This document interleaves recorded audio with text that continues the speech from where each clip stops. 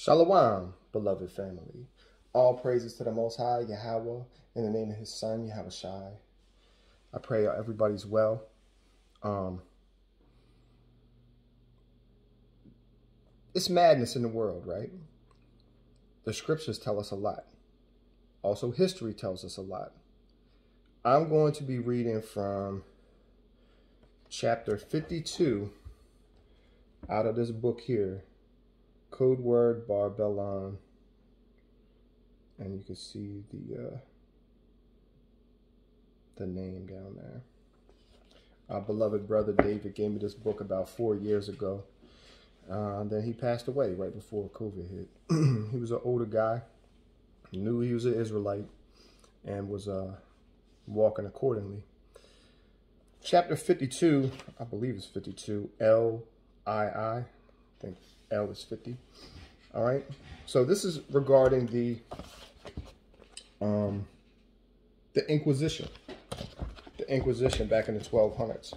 And just to give a quick definition of the Inquisition, uh, first definition is a period of prolonged and intensive questioning or investigation. Second definition is an ecclesiastical tribunal established by Pope Gregory IX around 1232 for the suppression of heresy. It was active chiefly in northern Italy and southern France, becoming notorious for the use of torture. In 1542, the papal institution was reestablished to combat Protestantism, eventually becoming an organ of papal government. Okay, so if you can bear with me, just going to read about three, three pages of this. Okay centuries, or Salakia, um, chapter 52, code word Barbelon, the Inquisition in minute detail, the first Holocaust. Cruelties committed by the Inquisition, those who survive. Those who survive the first tortures are tied down upon their backs. A large cauldron turned upside down is placed upon their naked stomachs, with a number of large dormice underneath. A fire is lighted at the top of the cauldron, which enrages the dormice.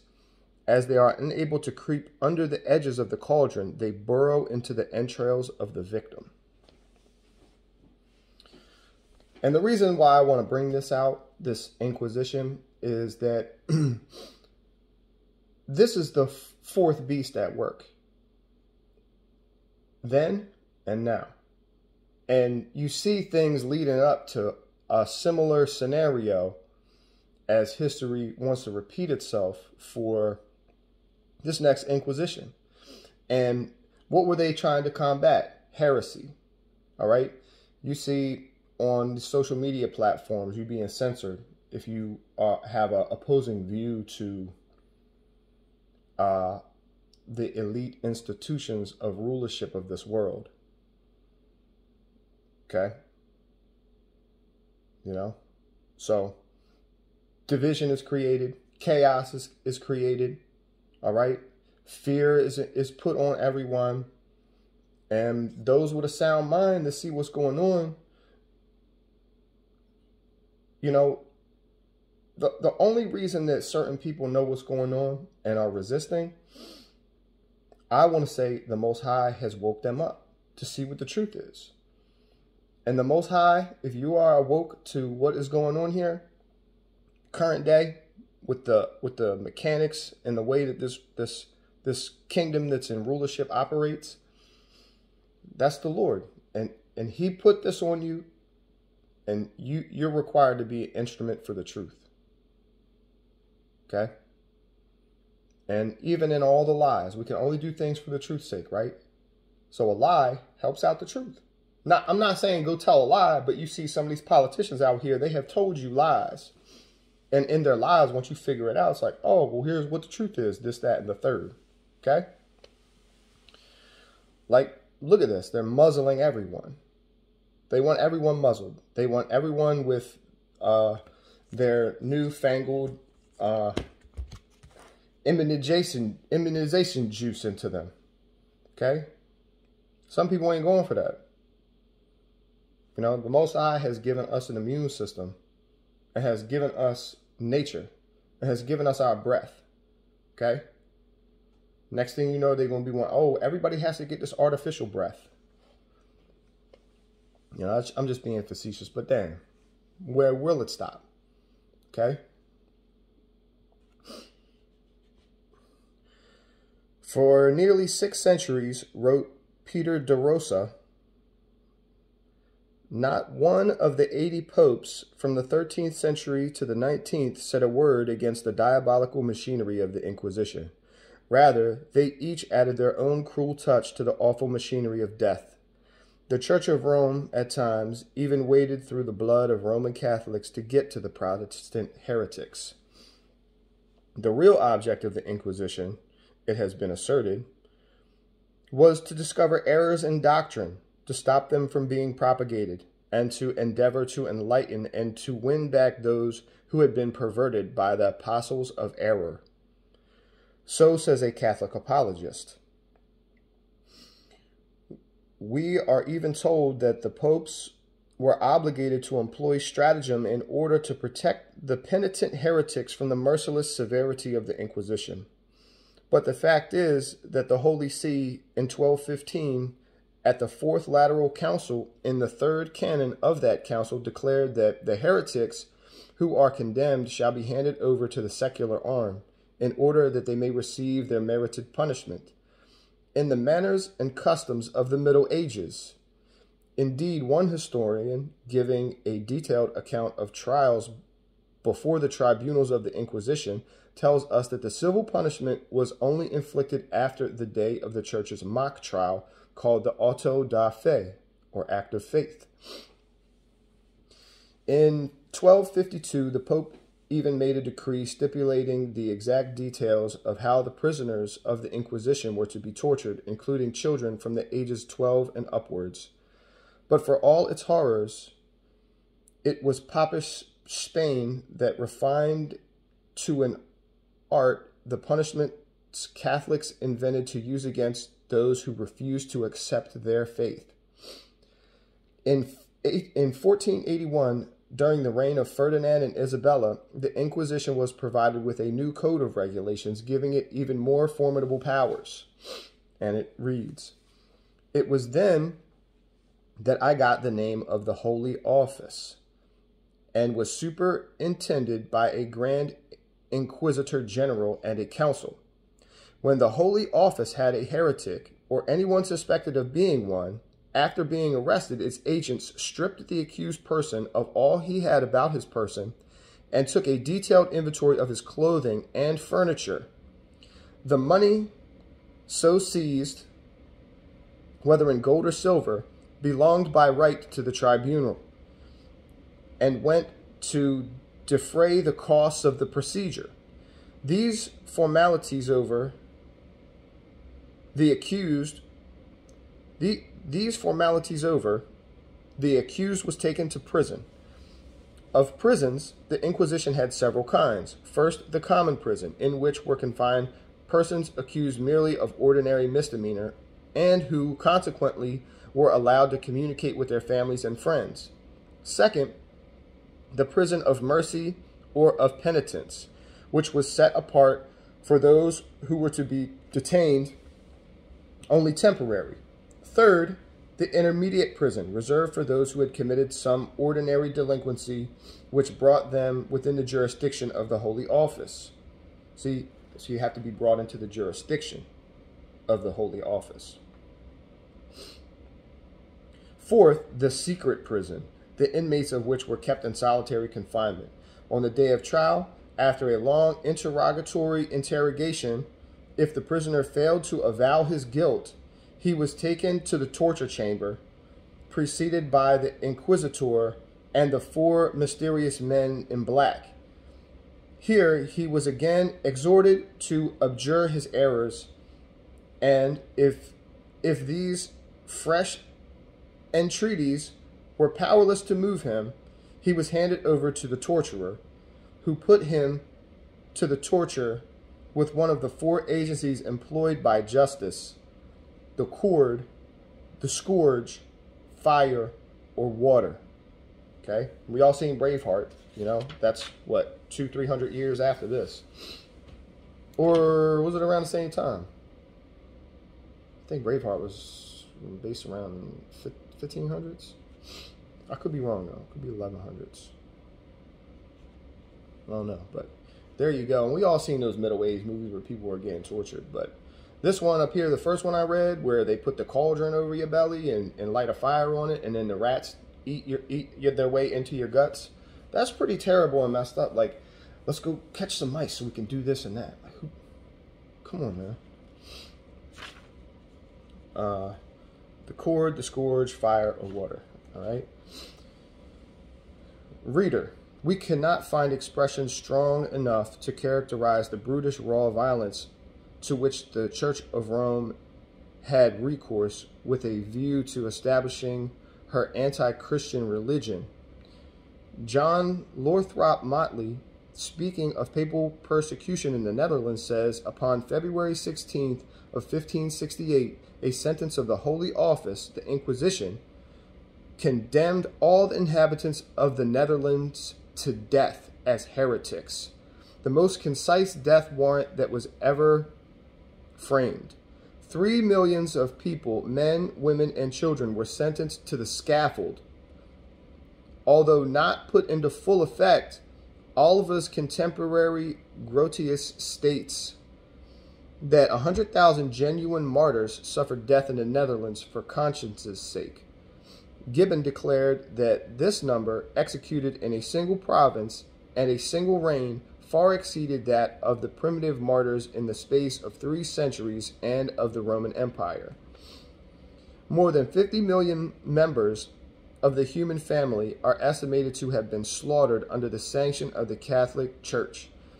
Uh, and that's from a, excerpt of Dowling, History of Rome, Book 8 and that's John Dowling. Is that John Dowling? Uh, John Dowling, Dowling, D-O-W-L-I-N-G, History of Rome. How could such a degraded, inhumane, barbaric system claim to be the religion of Jesus Christ? Where in the Bible does it say that the life of the heretic should be taken? In Rome today, you will find on the outside of the Lateran Church a plaque. A plaque depicting Pope Innocent VIII's 1487 order against the Christian wildernesses. It says Vaudois or Al Begenses in these words that that abominable sect of, of malignant to be crushed like venomous snakes. Why? They would not accept the Pope as their head. And that also comes from uh, a book written by John Dowling, History of Romanism, book, book 6, chapter 5, section 62. They would not accept the Pope as their head. Something similar to me happened. I was in an Israelite camp, and I would not accept any other head than Yahushai, and I decided to leave. And then they, they wanted to have an inquisition on me. All right. R.W. Thompson writes, The Waldenses were burned. They were cast into damp and horrid dungeons. They were smothered in crowds in mountain caverns mothers and babies and old men and women together, they were sent out into exile in the winter night, unclothed and unfed, to climb the snowy mountains. They were hurled over the rocks. Their houses and lands were taken from them. Their children were stolen to be indoctrinated with the religion which they abhorred. Rapacious individuals were sent among them to strip them of their property, to persecute and exterminate them. Thousands, old men, women, and children were hung, quartered, broken upon the wheel, or burned alive, and their property confiscated. So, look what's going on in the world right now with uh, with uh, the bar association members, the lobbyists, people who are lobbying the Congress, um, uh, all of these gigantic real estate contracts. Okay, the MVA in uh, 1861, I think it was. There was a court, a Supreme Court case. It was called Downes v. Bidwell, and it identified two different governments at work in America. One was an unconstitutional government that was a corporate thing that was created called the United States.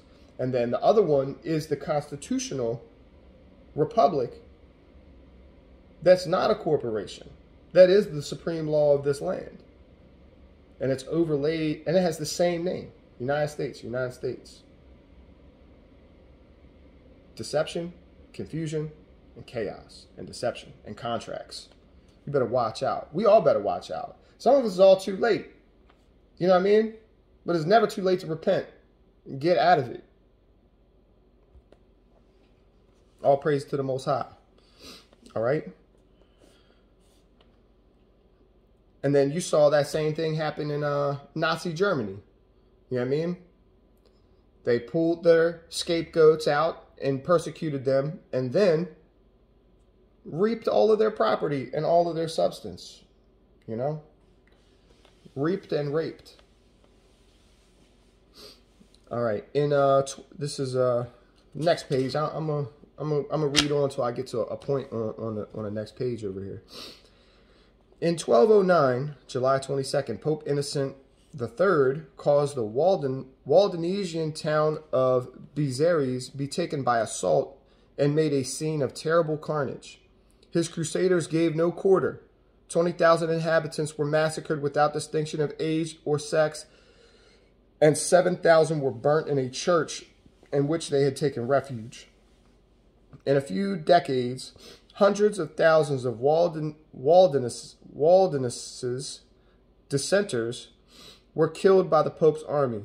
Two cities of considerable size, Be and Carcassonne, were destroyed, their occupants thrown from the top of high cliffs, hanged, disemboweled, pierced through repeatedly, drowned, put out to be torn by dogs, burnt alive, and even crucified.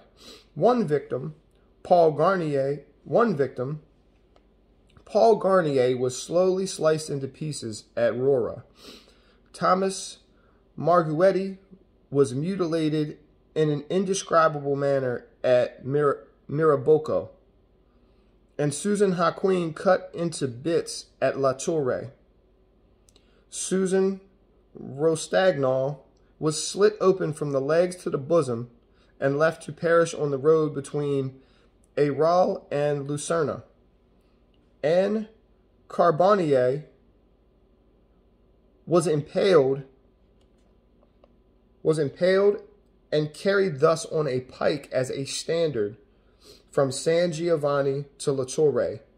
Daniel Rambaud at Paisano had his nails torn off, then his fingers chopped off, then his feet and hands, then his arms, then his legs, with each successive refusal on his part to abjure the gospel.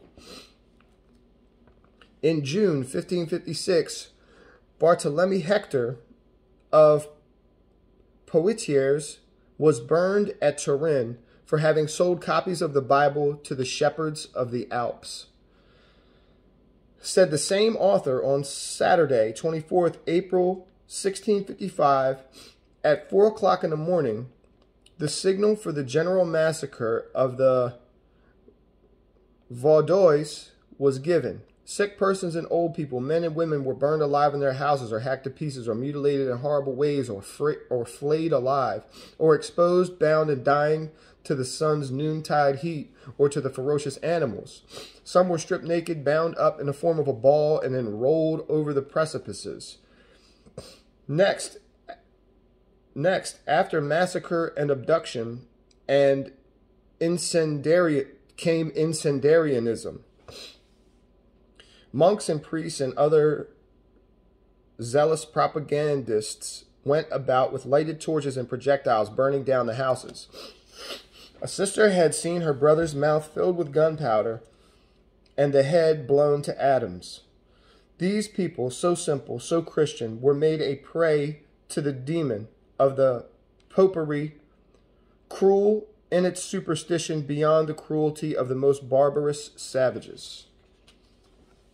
I shall next quote from one who was intimately acquainted with the Inquisition, Don Juan Antonio Llorente, derived from the original documents in the archives of the Supreme Tribunal and those of the subterranean tribunals of the Holy Office. I quote Llorente from his critical history of the Inquisition of Spain, cited in page 207 of History of the Reign of Ferdinand and Isabella, Volume 1, by William H. Prescott. Don Juan Antonio Llorente is the only writer who has succeeded in completely lifting the veil from the dread mysteries of the Inquisition. It is obvious how very few could could be competent to this task, since the proceedings of the Holy Office were shrouded in such impenetrable secrecy that even the prisoners who were arraigned before it, as has been already stated, were kept in ignorance of their own processes.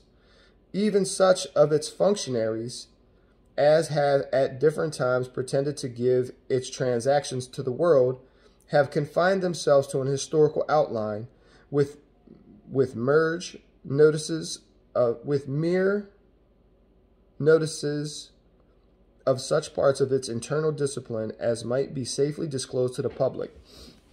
Llorente was secretary of the Tribunal of Madrid from 1790 to 1792. His official station consequently afforded him every facility for an acquaintance with the most recondite affairs of the Inquisition, and on its suppression at the close of 1808, he devoted several years to a careful investigation of the registers of the tribunals, both on the both of the capital and the provinces, as well as such other original documents contained within their archives as had not hitherto been opened to the light of day.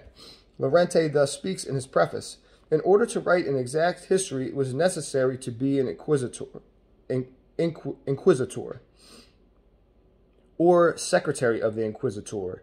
In this way alone could be seen the bulls of the popes the orders of the kings, the decisions of the council of the Inquisition, the original trials, and the other papers of its archives. Perhaps I am the only one who at the present time can possess all of these documents. I was secretary of the Inquisition of the Court of Madrid in the years of 1789, 1790, and 1791. I knew its establishment sufficiently to consider its vicious consider it vicious in its origin, constitution, and laws, in spite of the apologetic writings in its favor, I immediately devoted myself to the collection of papers, abridging the most voluminous, uh, abridging the most voluminous, but copying literally all that was important. My perseverance in this labor and in that of collecting all the suppressed books and pamphlets that I could find among the depositories of former inquisitors, provided me with a great number of interesting documents. I at last obtained the whole of the archives in 1809 when the tribunal was abolished. I hope that I shall not be thought arrogant in saying that I alone can satisfy the curiosity of those who wish to know the true history of the Inquisition of Spain. I merely mean that I alone possess the materials for that history, the abundance of which will, I hope, supply in great degree my want of talent. And remember, this was from his book, uh, Llorente's book, Don Juan Antonio Llorente's book called the critical history of the Inquisition of Spain, or no, from his critical history of the Inquisition of Spain, cited in page 207 of the History of the Reign of Ferdinand Isabella, Volume 1, by William H. Prescott. So it wasn't Don Juan Antonio Llorente's book. It was William H. Prescott's book, and he just cited everything that Llorente had. All right. In the early chapters of his work, Llorente gives a sketch of the ancient Inquisition, from its origin in 1203 down to the establishment of the modern, modern tribunal by Ferdinand V in 1481. Llorente, with all his opportunities, was able to collect but me- mere details of the ancient Inquisition, its existence during the Dark Ages being unfavorable to critical inquiry. To begin to understand the scale of atrocity of the inquisitors, of the Inquisitions, consider the career of Torquemada, 1420 to 1498, Grand Inquisitor of Spain, Tor Torquemada. During his 18 year term, well over 100,000 heresy cases were tried in Spain alone, of which 97,322 were imprisoned and or lost their property. At least 90,000 were tortured, many to death, and 10,220 were burned. These are the numbers so large they seem incredible, but but which were given by Llorente, the Spanish historian of the Inquisition, who was well qualified to judge their accuracy. If we take only half of Torquemada's rate of 5,975 victims per year, and that's that's more than one a day. Well over one a day. You know? That's like abortions. Right? Some doctors got 3,000 abortions under their belt in one year. Victims per year, 5,000 all right, we just if we only take half of Torquemada's rate of 5,975 victims per year, people in prison, robbed, tortured, or killed by the church, and multiply it for the six major Western Christian powers Spain, France, England, Germany, Italy, and Slavic countries over 500 years, roughly 1150 to 1650, we reach a figure of nearly 9 million victims of the various inquisitions. This does not include groups slaughtered in Europe by crusaders or by general degree, It also does not include those threatened, harassed, lynched, or punished without trial, such as known Jews. These victims add millions more to the body count. We can easily say that the Christian Inquisitions killed at least 10 million and cruelly ruined the lives of at least 10 million more. Sober reader, the seventh chapter of Daniel has been precisely fulfilled in the Catholic Church. The fourth beast shall be the fourth kingdom upon the earth. It shall devour the whole earth, tread it down, and break it to pieces. I quote next Grattan Guinness Romanism Grattan Guinness, Romanism, and the Reformation, 1881. Um, I might I might continue this on another time because I don't want to have be sitting down here for an hour doing this, but maybe I should. All right. Are the saints getting worn out? Are the saints getting worn out? I'd say. I'd say. And now look at the current Inquisition, right? Let's just take a look at it. Just real quick. All right, so you've got a worldwide plague, we'll say. A worldwide plague. And, you know, we had uh, over here, what they, our government rolled out Operation Warp Speed and then hurried up and busted out whatever this uh, immuno juice was, immuno jab juice was, and then it was, it was like, all right, yeah, it's cool. Everybody just, everybody needs to go get it. And it's like, look at what's happening in the EU. You know, you're talking about going door to door with the military. Look what's going on in Australia. You got millions of people out in the street. People are protesting all over the whole world. Um, rebellion is as is a, as witchcraft and idolatry. All right. Look at the, look, look at the history of idolatry. All right, we've all been, and these people here who who who were victims of the Inquisition, And probably still to this day, they got the Inquisition going on, man. A lot of secrets. A lot of secrets. But look what's coming out. You got this whole book about it. And there's other books to this volume. This is book two. You know, we'll have to see what's up with the rest of these and maybe do many, many more sit downs. Uh, wow. Yeah, I'm going to do some more in, in these books here. But let's see what they was talking about with this fourth beast. Let's see what they was talking about with this fourth beast. Daniel, where you at, bro?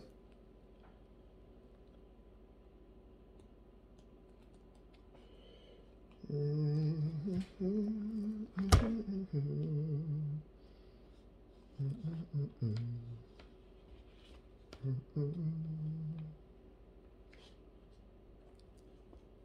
Daniel, uh, chapter 7. Daniel chapter 7. Then I would know 7 and 19. 7 and 17. These great beasts which are four are four kings which shall rise out of the earth. But the saints of the Most High shall take the kingdom. Wonder why?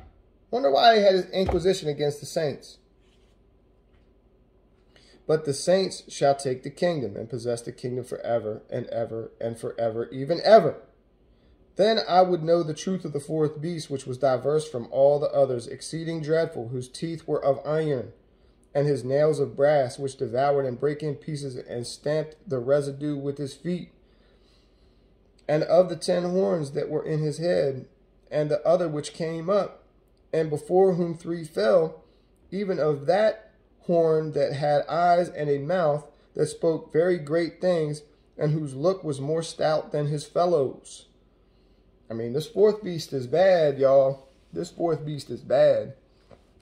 And I beheld, and the same horn made war with the saints and prevailed against them. What they say, 10 million? And that was being conservative? Until, and this is our hope, family until the Ancient of Days came and judgment was given to the saints of the Most High, and the time came that the saints possessed the kingdom. Who is the Ancient of Days? The Most High God, the Father. Thus he said, The fourth beast shall be the fourth kingdom upon the earth, which shall be diverse from all other kingdoms and shall devour the whole earth and shred it down and break it to pieces. All right? And all of y'all Americans that's thinking that Trump and, and some some white hat group is out here doing something, you dead wrong, bro. And you they, you turning them into an idol. And you're guilty and there's blood on your hands. You need to stop worshiping that idol and start getting on your knees and repenting and praying to the Most High in the name of his precious son, Yahweh All right? And break up the whole earth. Hold up. And, and, and, devour the whole earth and shall tread it down and break it into pieces. All right? The poisoning of the air. We still getting chemtrail, bro. That's what shook. That's what shook my cage. After Trump got into office, we still getting chemtrail. He pulls out of the Paris Climate Accords, we out here still getting chemtrail. I'm watching a cooking video of a brother out in Azerbaijan. They chemtrailing out in Azerbaijan. They chemtrailing out in Kenya. You ain't getting away from this. You can't escape this.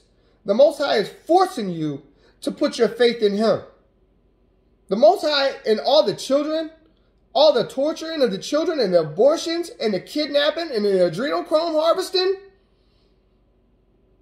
and then all the symbols and symbolisms they put in all the movies and shows and joke around about it and try to normalize this crap. Like it's okay. It's not okay. The Most High is making it really easy to not love this world. And the Most High is forcing you to put all of this idolatry aside and focus your faith on the, in the Lord. Faith, Abraham, Noah, Enoch, Daniel, Elijah. Faith. The Salaki for getting loud. It's not very good acoustics out here in this kitchen. All right. And the ten horns 7 and 22. And the ten horns out of this kingdom are ten kings that shall arise, and another shall rise after them. And he shall be diverse from the first, but he shall subdue three kings. And he shall speak great words against the Most High, and shall wear out the saints of the Most High, and think to change times and laws. So who changed time from being the month? Moon means month, and the new moon's a new month. Who changed times? It always was these guys. Uh, the Gregorian calendar, right? The Julian calendar, right? Man, come on. Ch change times and laws all of the lobbying and all the legislation and all the bar association members that's running around trying to put laws in place that cause you to be muzzled, that cause you to have your temple be violated, that cause you to have to have, uh, look how they game us. Look how they game us with your mortgage and your bills and your, your car note and all this madness. It's like you got to go to work or, or everything's going to crumble out from underneath you and you're going to be destitute. And then while you're at work, they indoctrinate your children into their philosophies and, and crap because they've lobbied the American Federation of Teachers and all of this other organizations that control what gets taught in the schools. Okay? And I'll tell you what, some of these young boys out here, there's no guidance for them. They're being lewd. They're looking at whatever they want on the internet. And then uh, you bring it up to, to parental uh, units. And it's like, oh, they're boys. That's what boys ages 9 to 13 do. Nah. Nah. Okay. This this is this place is corrupt. The love of this world is enmity with God.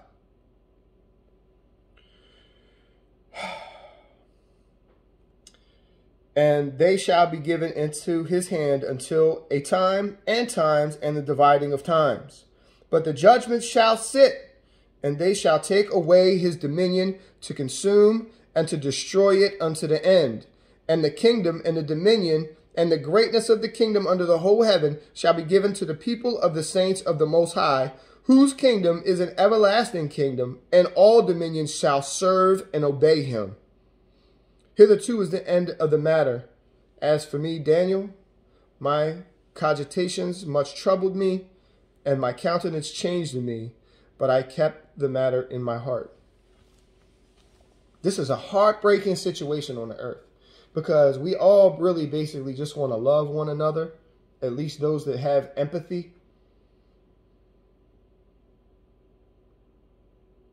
And it goes deeper than just the physicality of all this inquisition. I mean, there's there's demonic things going on in the spiritual back channels that will we ever know? Pray against it, rebuke it. Okay? All right, so here we go again with the inquisition of the whole earth. Um, what they just do the other day? Oh, the Pope came out and said, "Oh, it's time to uh, divide Israel or something, something along those matters, and talking about giving the Temple Mount to uh, Islam. These are just speculations that I've seen, and uh, you know they're going to try to fake fulfill prophecy with this third temple. As far as I'm concerned, the body of Yahweh the body of Hamashiach, is the third temple. The tabernacle of David is this generation of kings and priests who have the law written in their heart. There's going to be a day where no man going to have to teach his neighbor, yeah, stealing's wrong. Yeah, murdering's wrong. Yeah, coveting your neighbor's stuff is wrong. Adultery is wrong.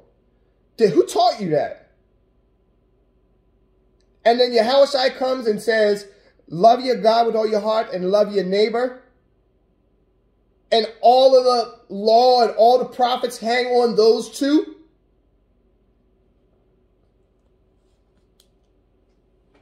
Did Moses need to wear fringes to remind him of the law? Did Yahushua wear fringes to remind him of the law? Lord willing, the Ancient of Days in Daniel 7 and 22. Lord willing, this comes sooner than later. Hasten the day. All praise to Yahweh by Shimi Hawashai. Love to the fam.